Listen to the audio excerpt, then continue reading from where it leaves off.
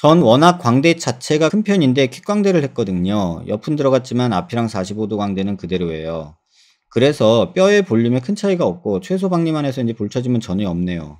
다행이네요.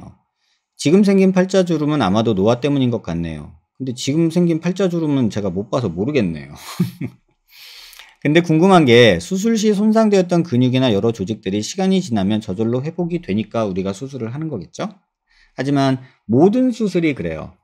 수술 전에 100의 어, 기능, 성능이 있었다고 치면 수술을 하면 그 100이 100이 되는 건 아니에요. 대부분 95, 97, 뭐90 이런 식으로 떨어지는 건 맞아요.